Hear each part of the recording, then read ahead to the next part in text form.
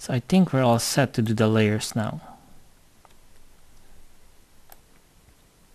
Okay, now how does the how does layers work? Now, how would I okay, what are the options so that I can view the Docker of the of the layers? Okay, so if you go to tools and click on object manager, okay, if you click on that and and um, you know a, a Docker will show up. So these are the layer manager or object manager. And if you notice here, there's a master page and there's also page one because I'm in page one. Right? If I click on this icon here to add another page, and you know that there's page two. Right? This is page one and this is page two. I'm gonna delete page two by right mouse click on this and you go delete page now I only have one here now the default if you click on if you draw something in one layer it will call, be called layer 1 okay? and this master page this master page is also it's also default wherein let's say you want to create a background for all the pages you can use the master page but for this project we're just going to use we're not really going to use the master page. Okay. So, so layout number one, okay, it means to say all of these objects are in layer number one. Now, how would you know if an object, let's say I'm going to make an object like that and fill it with black, how would I know that this object, which layer is this object in, right? So I click on it and here in the status bar it says here rectangle on layer 1, okay? And in here, if you notice, it is in layer 1 right? because we only have one layer. Right? Now I'm going to minimize this. Okay. So let's say I'm going to rename this layer. So I click on it. So make that uh, let's say the base. So that's my base uh, base color. Okay. if you want to create another layer, so let's say I'm gonna make a layer for my, you know, for this shading I'm going to click on my new layer icon here and it says layer 1 so I'll put here shade for shading. Okay. It's gonna minimize that. And I'm also going to make another layer for my uh, color so I click on my new layer for my collar and sleeves. So I'll put there sleeves collar. Okay. Okay now I'm ready to drag the objects to the certain layer. So I'm gonna delete this first okay? So the base I call it base right? So this is my base okay? I know it's already in base because it says here curve on base okay? I'm going to click on the shading which is this one. Shading right now is still on base. So what I'm going to do I'm going to move this and drag it to the shade uh, layer here. So I click the object and drag it to the shade. Okay. You know it's already locked when you know the, the two icons there show up and click there. And you notice in the layer shade there is a curve okay which is this one here the curve now the I'm going to select this one here which is my collar and I'll move it to my collar. So click and drag it to sleeves and collar. There. Now this is already there. And these two this one. Move it there. And this one move it there. Yeah. Now if I click here, it's in the sleeves color. Click on the shading, it's in the curve of shade. Now, going back to the Docker here, uh, this um, this uh, the eye icon here means to say that's the visible. You can show and hide it. Let's say you want to hide the the base. So I click on that and you won't see it, right? Let's say I'll put it back again see the eyes closed I'll put it open again which is visible. See the shade I click on that going back. The sleeves back. Okay. Now okay now why is it now why is it important now? Like why are this important the layers important? Okay. So it is important because you can actually let's say you have a shirt here and then you want to show to a client if your design what would your design look like in a different colored shirt right? Okay so in order to do that what I'm going to do I'm going to select all of this okay? And then I click on copy or control C okay? So when I click on copy it's in the clipboard already okay. and then what I'm going to do I'm going to hide all of these I'm gonna hide all of that first okay? Except for the guides. So I'm I hid that and then what I'm going to do I'm going to um, create a layer new layer. So I'll put here base 2 okay? And then I'll make another one uh, shade 2 and then I click on new layer again and then I'll put there sleeves and color. Sleeve color 2 click there. Yeah. Now I'll go to base 2 and then I'll paste my my objects right? So that's the one. So it's already pasted. Okay. And then now before putting it on their respective layers I'm going to um, color it first. Okay let's say I decided to make it a not a fluorescent shirt let's say let's say um, a lighter green shade. Okay and then I'm going to click on this one. Uh, okay I'm gonna ungroup that first so click this and this and I'll make it the same color and then I click on the black. Hold on control and click until you get a darker shade of green. Let's say that's fine. Same as this I'm gonna sample that color here. And then hold down shift and pour. Okay. So this one I'm going to sample the color the base color. And then I'm going to hold on shift and pour it to the shading okay? Now I click on that.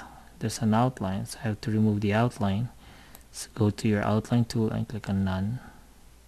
And go back to your palette here hold down control there.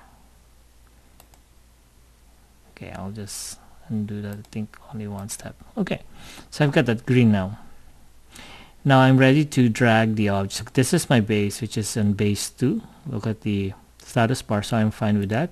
So what I'm going to do is the color here. I'll put it in the sleeve and color 2 and then this one too. Sleeve and color 2 okay. And then this one would be in shading. Shade 2 I mean. Okay now you can see this icons here. You can actually color that because what I'm planning to do is I'm going to because this one's green so I'm going to click on the base 2 double click on that and then you can see I can color that with with green okay? So that means to say uh, that's the color of the the shirt okay. so this shade 2 I'll make it darker green okay and in the sleeve and collar I can just make it darker or darkest green okay. Now this one okay. Now I can hide all of the base 2 shade 2 sleeves and collar. Then I'll make this visible though the first one that I've done I've done. Oops. And I'm going to color this. I'm gonna color that. Um, now blue this one would be that's only representation of the of the uh, of the shirt. Yeah. So now I'm good. Click here okay now I'm going to make one more layer for my design for my t-shirt design. So I click on new layer here and I'm going to name it uh, design click here and I'll make the design as black. That's fine.